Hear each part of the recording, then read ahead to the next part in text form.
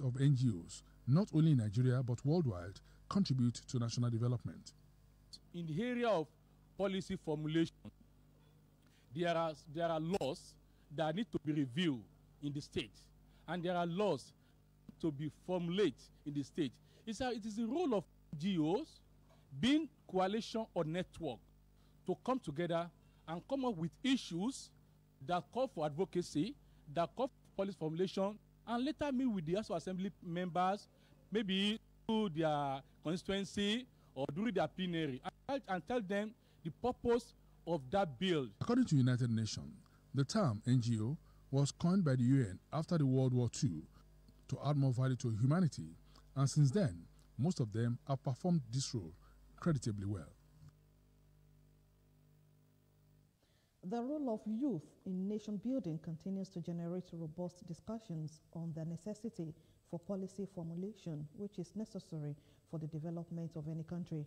On the relationship between good governance and nation building, Nigerians believe a strong and viable nation can only be built if the youth are given the opportunity to serve and express their potentials.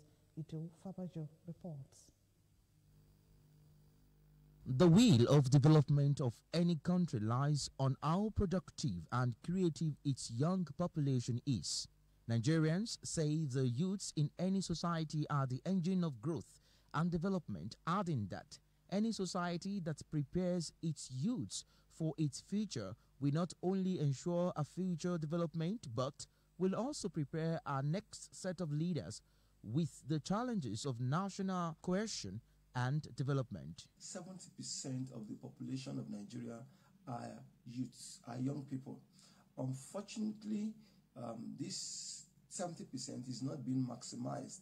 Eventually, young people are relegated as thugs, uh, people, um, ballot snatchers, and all of that. They don't see them as people who would um, who will be able to contribute to national development. Okay, so um, it, it's time to actually change that. Youths are not useless, but they are useless.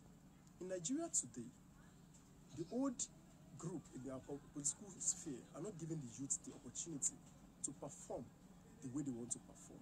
Our youthful population are not being incorporated into key positions where decision making can be changed. If we look into the private sector now, we see a lot of youths making exploits, a lot of young persons 20, 25, 30, 35, 40, making great things for themselves in their private enterprises. But why is this not happening in our political sphere? It's a question of how much are we being incorporated? Um, let youth get their direction right. I also believe that youth are the leaders of tomorrow, but as it is presently, I do not see most of our youth taking leadership role in no distant time. Our youth have a lot of role to play. If we say we have we need to have good governance, then our youth must rise up to that challenge. Our youth must be actively involved in our political system. They must make themselves available both to vote and be voted for. As the most active population of any society, youths are the major determinants of peace and stability of a nation. Therefore, they must be given the chance to thrive. Until you give me a chance to prove myself, you can't say what I can do, neither can you say what I cannot do. You cannot conclude that this is what I'm going to do. Look at, for example, we have young people going out there making Nigeria proud outside the soil of our country. Go to UK today, go to Canada. There are young Nigerians making exploits in the health, in the tech, in finance, and in other areas of life. But look at what is happening in Nigeria. The youth population in Nigeria today are not being used enough and are not being given the opportunity. And until that is done, we cannot go anywhere. We cannot move from where we are today to a better height.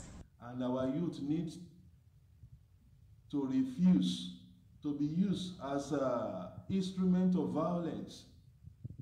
They should learn to say no to violence. They should align themselves in the path of those who make things happen and not those who cause trouble for the nation. If our youth will do all this and many more, this nation will be a better place for all of us. Nigeria, with over 200 million people, out of which over 50% are youths, cannot afford to lock its youths out of development plans. If it must compete politically, technologically, and scientifically in order to align itself with the pace of development in Africa in particular and world in general. Idowu Fabajo, OGTV News.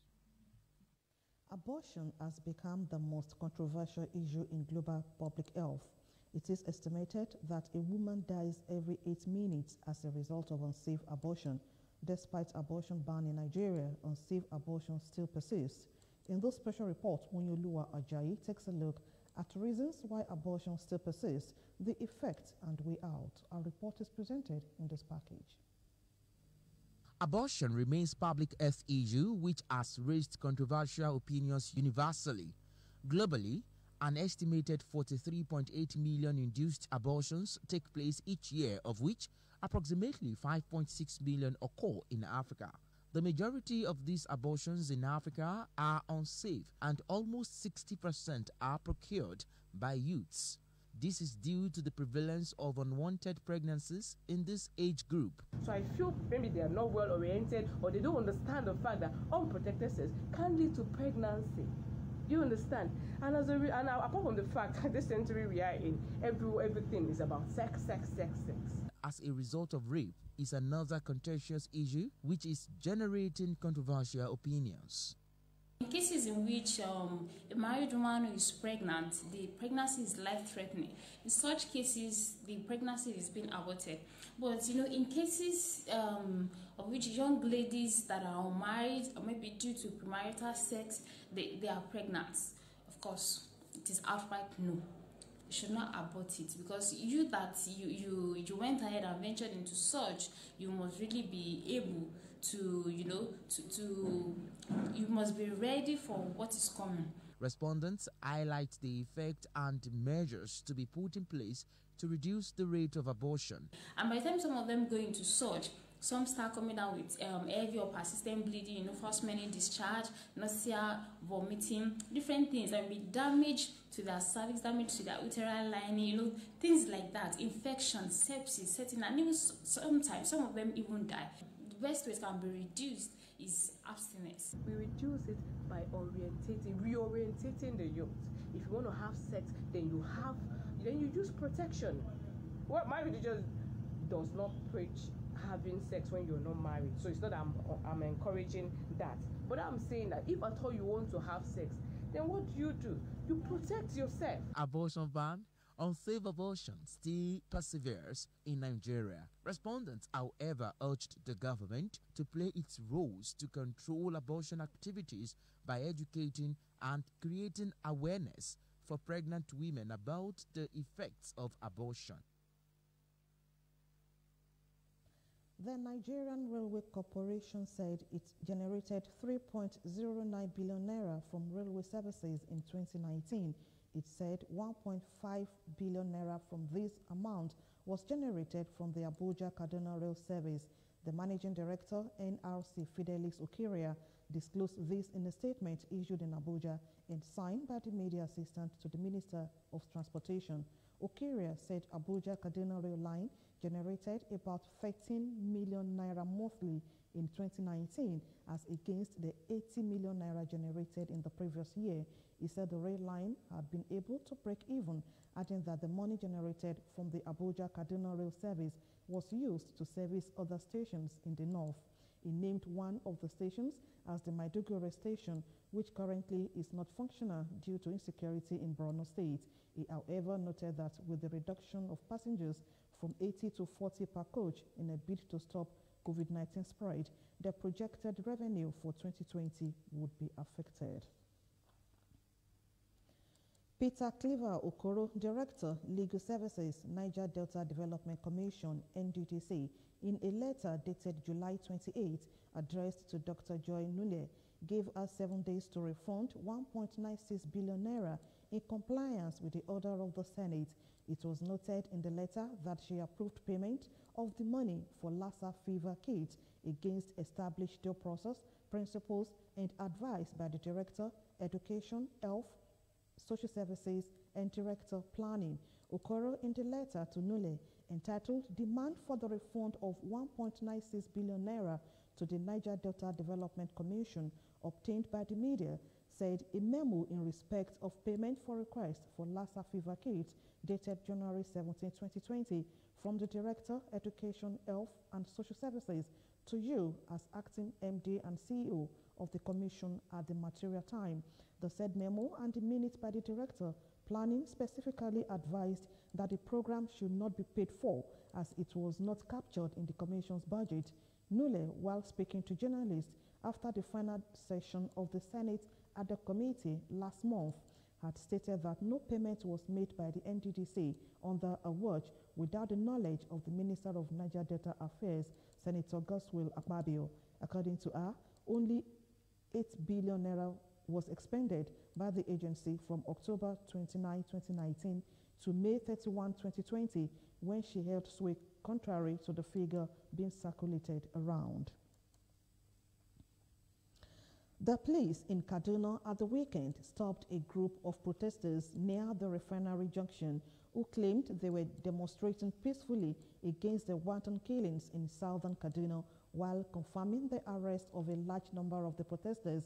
The police public relations officer in the state, ASP Ahmed Jalige, said the arrest was made because there was no prior notification of the procession.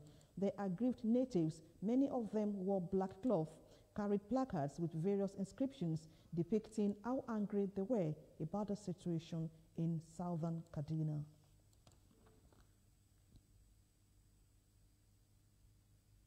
You're still watching OGTV News. We take a short break now, and when we return, the news continues. Don't go away.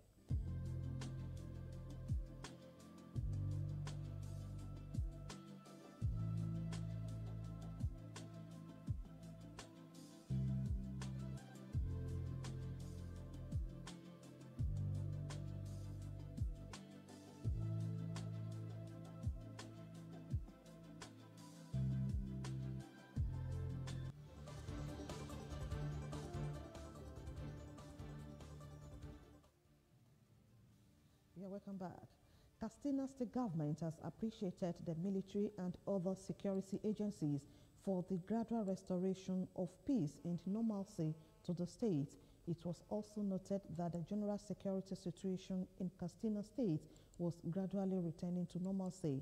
This assertion was made in a statement issued by the Special Advisor on Security Matters to Katsina State Governor Ibrahim Katsina. It was stated in the statement that the current combined efforts by the military and other security agents were achieving the desired results and also giving hope to the people to return to their normal lives. Ibrahim Katsina also urged members of the public to shun all forms of inducements to make them go into crimes because it does not pay. He, however, appealed to the people of Katsina to continue to volunteer information on criminals and the adults so as to collectively defeat criminality in the state. 87 Nigerians stranded in Sudan arrived the Nnamdi Azikiwe International Airport, Abuja, on Air Sudan on Saturday. Nigerians in the Diaspora Commission, NIDCOM, in their official Twitter handle, stated that the evacuees arrived in the morning of August 8. It said that all evacuees will proceed on a 14 on 14 days self-isolation as mandated by the Nigeria Center for Disease Control, the Federal Ministry of Health, Nigeria, and the Presidential Task Force, PTF, on COVID-19, it stated. The United States Embassy in Nigeria says it is concerned over the allegations of interference by security forces in political matters in Edo State and will continue to monitor them closely during the run-up to the governorship election, which holds next month. The U.S. Embassy said this in a statement titled U.S. Embassy Statement on 2020 Off-Cycle Elections in Edo and Ondo States on Friday. The embassy expressed disappointment with the role played by some political actors in the state. The embassy urged all stakeholders, including the Independent National Electoral Commission, INEC, to work towards a peaceful and transparent process in Edo and Ondo states. Edo has been facing a political crisis in recent times due to crisis between Governor Godwin Obaseki and his predecessor Adams Oshiomhole, who was his benefactor. The problem between the two, however, resulted in Obaseki's failing to clinch the ticket of the All Progressives Congress APC and subsequently defected to the People's Democratic Party PDP. Oshiomhole, who was the national chairman of APC, also lost his position due to the crisis in the state. Earlier in the week, the crisis also hit the House of Assembly, which led to its closure.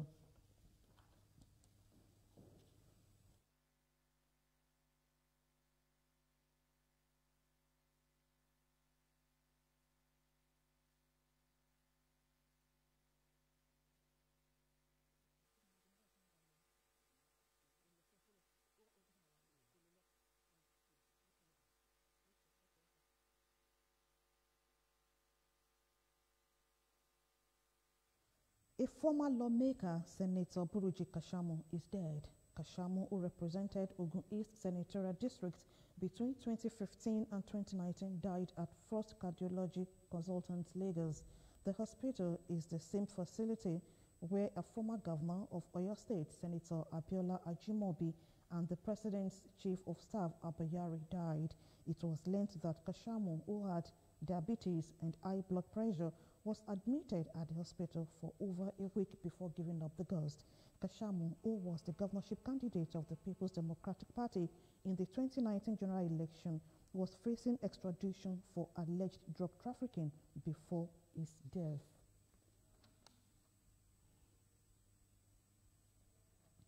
Meanwhile, the governor of Ogun State, Prince Dapo Abiodun, has expressed shock over the death of Senator Buruji Kashamu on Saturday. Senator Kashamu, who represented Ogun East at the Senate in the 8th National Assembly and contested the gubernatorial ticket of the state on the platform of the People's Democratic Party PDP against Governor Abiodun, died in a hospital in Lagos on Saturday. In a statement released in Abeokuta on Saturday by his chief press secretary, Kunle Somorin, Governor Abiodun described Kashamu's passing as one death to many and a devastating blow to the nation's political family.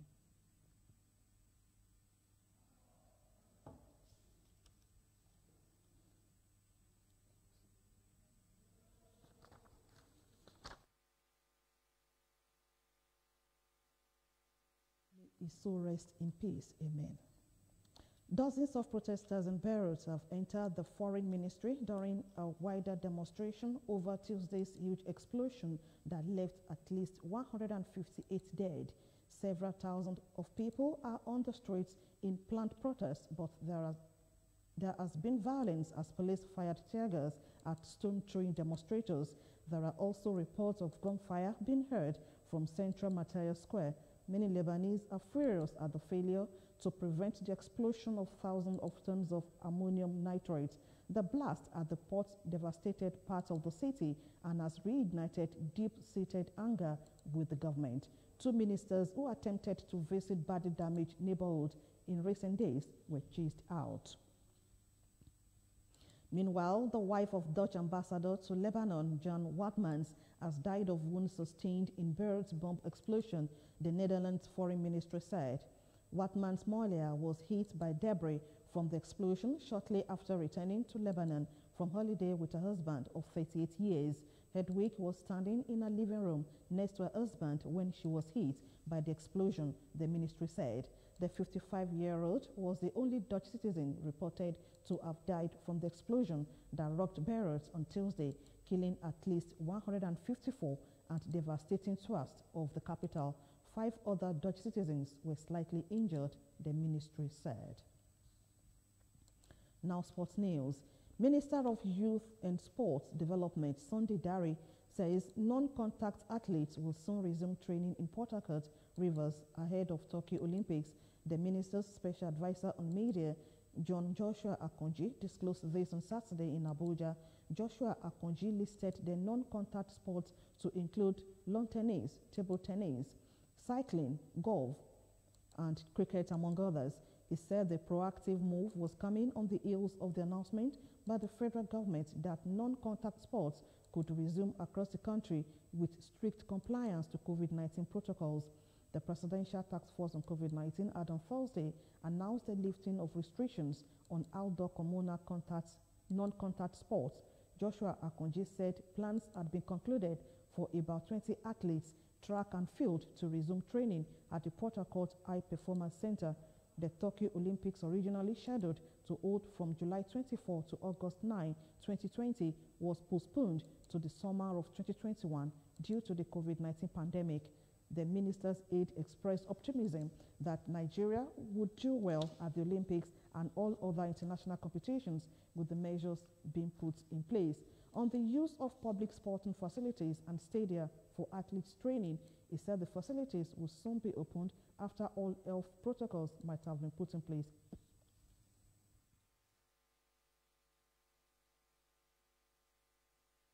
We now serve you weather forecast for Sunday.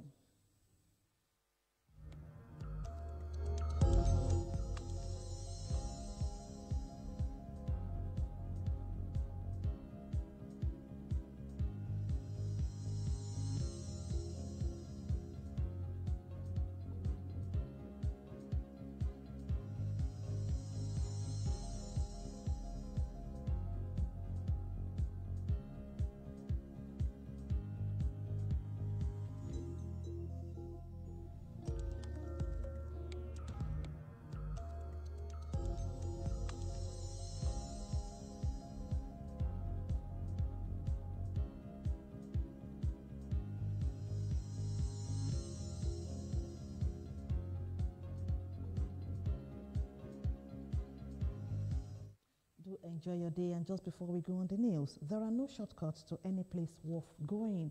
And don't forget that you can join us on these platforms Apple, Roku, Windows, Blackberry, Facebook, and Android devices. You can also watch live on OGTV website www.ogtv.com.ng slash live. And that was the news. Many thanks for watching. Do have a